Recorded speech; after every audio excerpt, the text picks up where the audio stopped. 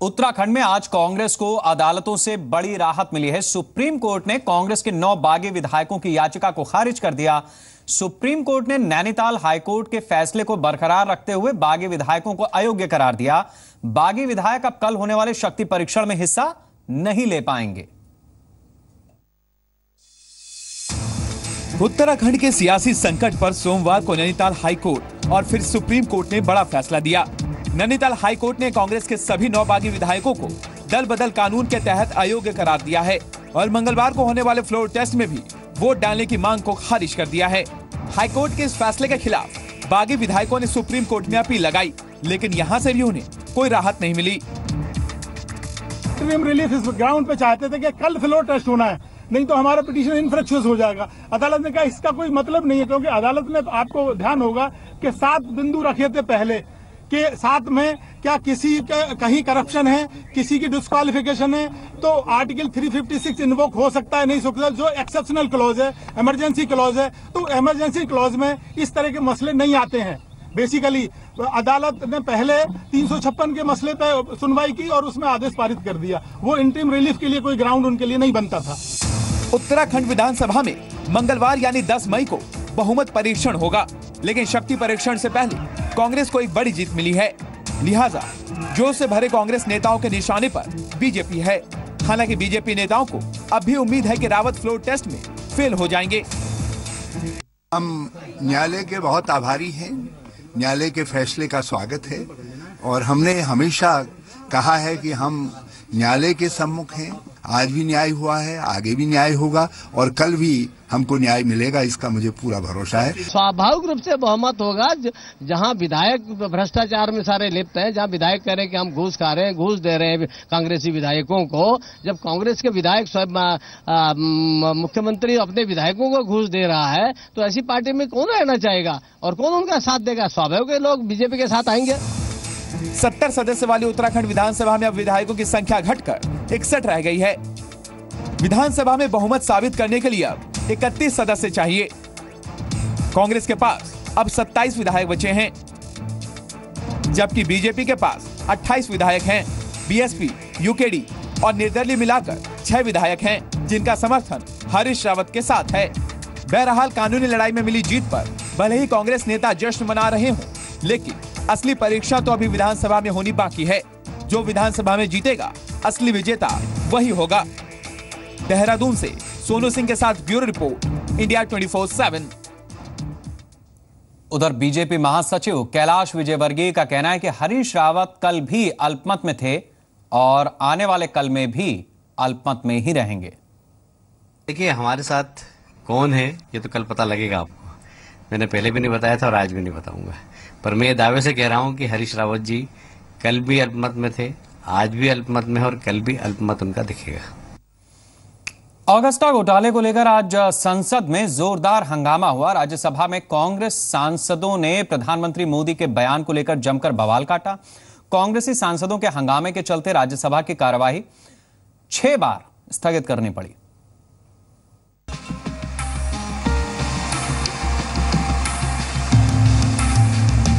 Augusta घूसकांड पर संसद के बाहर प्रधानमंत्री नरेंद्र मोदी के बयान से भड़की कांग्रेस ने सोमवार को राज्यसभा में जमकर हंगामा किया। राज्यसभा में कांग्रेस सांसदों ने पीएम के खिलाफ जोरदार नारेबाजी की। कांग्रेस नेता गुलाम नबी आज़ाद और आनंद शर्मा ने अगस्ता को लेकर पीएम के बयान पर आपत्ति जताते हुए मामले की सुप्रीम कोर्ट की निगरानी में जाँच कराने और पीएम के सदन के अंदर बयान देने की मांग की। हमने पहले दिन से ही कहा कि अगर निष्पक्ष जाँच करनी होगी ट्रांसपेरेंट जाँच करनी होगी तो Supreme Court monitor CBI inquiry करनी चाहिए और दो महीने के अंदर जुलाई अगस्त के सेशन में ये इस सदन के और उस सदन के मुजरिम है वो पकड़ के दिखाने चाहिए। मंत्री सदन में आके prime minister must come No, my, now listen to me. And substantiate the statement that no, you have made. Now listen because to me. Very, he is the Prime Minister of India. हालाँकि सरकार ने कांग्रेस के इस हंगामे को ज़्यादा तवज्जो नहीं दी सरकार ने कांग्रेस के हंगामे को उनका डर और बेचैनी करार दिया बिचौलियों की बेचैनी और दलालों की दहशत वो इस बात का बहुत साफ़ संकेत है कि दलाली का दबंग आज पूरी तरह से परेशान है दरअसल शुक्रवार को तमिलनाडु के होसूर में चुनावी रैली के दौरान पीएम नरेंद्र मोदी ने इशारों में कांग्रेस अध्यक्ष सोनिया गांधी पर निशाना साधा था, जबकि रविवार को केरल के कुटुनाड में पीएम ने कहा कि देश उन लोगों के नाम जानना चाहता है जिन्होंने हेलीकॉप्टर डील में रिश्वत ली। हेलीकॉप्टर में से भी रुपये मार लिए और ये हम नहीं कह रहे इटाली की कोर्ट कह रही है? इटाली की कोर्ट अगस्ता घूसकांड पर कांग्रेस और बीजेपी के बीच आर पार की जंग छिड़ी हुई। दोनों एक दूसरे को घेरने का कोई मौका नहीं छोड़ रहे हैं। अगस्ता पर संसद में बहस हो चुकी है, लेकिन इसके बाद भी दोनों तरफ़ से बार पलटवार का सिलसिला जारी ब्यूरो रिपोर्ट, इंडिया 24/7 प्रधानमंत्री नरेंद्र मोदी की डिग्री को लेकर मचा सियासी बवाल थमने का नाम नहीं ले रहा। दिल्ली के मुख्यमंत्री अरविंद केजरीवाल ने प्रधानमंत्री की डिग्री को लेकर सवाल उठाए थे तो डिग्री विवाद पर जवाब देने के लिए बीजेपी आज पूरे तामझाम के साथ मीडिया के सामने आई। बीजेपी अध्यक्ष अमित शाह और वित्त मंत्री अरुण जेटली ने तमाम आरोपों को नकारते हुए प्रधानमंत्री के सर्टिफिकेट दिखाए। अमित शाह ने प्रधानमंत्री की बीए और एमए की डिग्री सार्वजनिक की। शाह ने कहा कि केजरीवाल के लगाए तमाम आरोप झूठे हैं। शाह ने कहा कि केजरीवाल ने पूरे देश को गुमराह किया है। वहीं वित्त मंत्री अरुण जेटली ने कहा कि इस विवाद को अब यहीं खत्म करने की ज़रूरत है।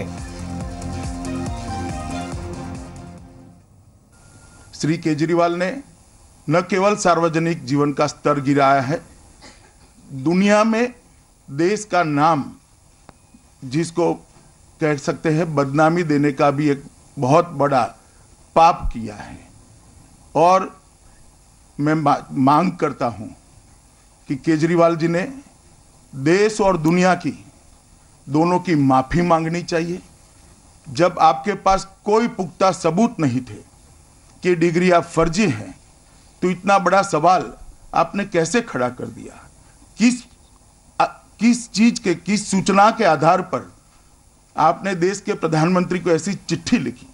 किस सूचना के आधार पर मीडिया के लोगों को गुमराह किया?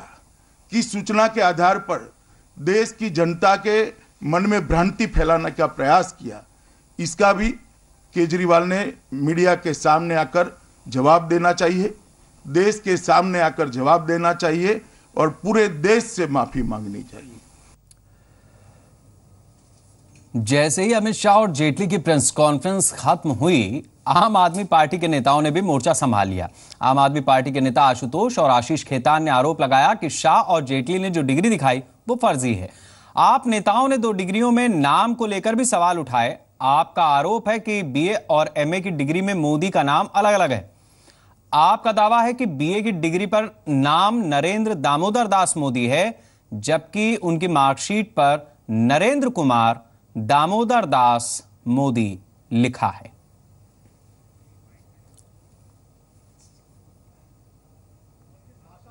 लोग करते हैं। मुझे बताने की ज़रूरत है। डिग्री पे लिखा हुआ है। आज हमने आम आदमी पार्टी के प्रवक्ताओं के उसी फ्रस्ट्रेशन को और उसी बौखलाहट को देखा है जिस बौखलाहट में उन्होंने अमित शाह जी और अरुण जेटली जी को जिसको अंग्रेज़ी में कहते हैं नेम कॉलिंग उनको गाली दे रहे थे। हम उनके स्तर में उतरना नहीं चाहते हैं क्योंकि हम एक राष्ट्रीय पार्टी है। पूरे विश्व की सबसे बड़ी पार्टी है ऐसे में शालीनता के साथ हम जवाब दें ये उचित होगा। इन्होंने दावा किया है कि नरेंद्र मोदी जी की जो जो डिग्रियाँ हैं आज उन्होंने सार्वजनिक करने का काम किया। आम आदमी पार्टी आपके माध्यम से देश की जनता को ये सूचित करना चाहती है कि जो डिग्री दिखाई गई है, वो डिग्री फर्जी है। फोर्ज है। अमित शाह कोई भगवान नहीं है। अरुण जेटली कोई भगवान नहीं है कि कुछ डिग्री वो प्रेस कॉन्फ्रेंस में लाके रख देंगे और उसको देश की जनता और आम आदमी पार्टी और तमाम लोग ये मान लेंगे। कि वो डिग्री सच है। बिहार के गया में छात्र की हत्या पर सियासी संग्राम शुरू हो गया है। छात्र की हत्या के विरोध में बीजेपी ने आज बंद का आह्वान किया। बीजेपी ने नीतीश सरकार पर जंगल राज का आरोप लगाते हुए जगह जगह सड़कों पर प्रदर्शन किया। बीजेपी कार्यकर्ताओं ने इस दौरान मृतक छात्र के धरना प्रदर्शन किया। इस मामले में आरोपी जेडीयू एमएलसी का बेटा रॉकी अभी भी फरार है। पुलिस रॉकी की तलाश में जगह जगह छापेमारी कर रही है। उसका पता लगाने के लिए पुलिस उसके घर वालों की कॉल डिटेल्स की भी पड़ताल कर रही है। रॉकी की तलाश में पुलिस की दो टीमें दिल्ली और रांची भेजी गईं। उधर बिहार के मुख्यमंत्री नीतीश कुमार ने बीजेपी के जंगल राज के आरोपों को खारिज करते हुए कहा कि बिहार में कानून का राज है और अपराध करने वाले किसी भी शख्स को बख्शा नहीं जाएगा। पुलिस अपना काम कर रही है। पुलिस को जो भी हमारे यहाँ इन्वेस्टिगेशन के मामले में पुलिस को पूरी आज़ादी है और पुलिस बहुत तेज़ी से अनुसंधान कर रही है। आईजी वहाँ बैठ करके मॉनिटर कर रहे हैं। सीनियर एसपी को सुपरवाइज करना है। सिटी एसपी के लीडरशिप में जो मुझको बताया गया है अभी सिटी एसपी के लीडरशिप में ही ना एसआईटी गठन कर दी गई है। इसलिए त्वरित कार्रवाई और जब अनुसंधान के क्रम में जिसका भी जिसकी भी संलिप्तता आएगी उस पर कार्रवाई होगी।